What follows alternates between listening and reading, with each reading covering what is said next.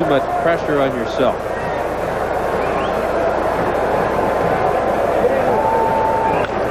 Line drive will fall in in right field.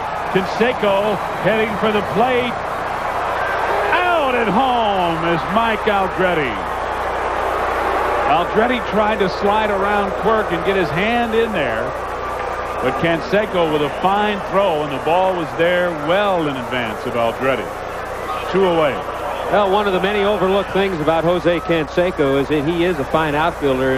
Uh, you can see by the strong throw. Even though it was up the line, he got rid of it quick enough and it was hard enough that Quirk was able to come back and get a piece of Aldrete. A little surprised at Richie Dauer. It's easy to second guess this, but even with two out to go ahead and send the runner with a power hitter coming up in Glenallen Hill when you're down by three runs. But it took that kind of a throw to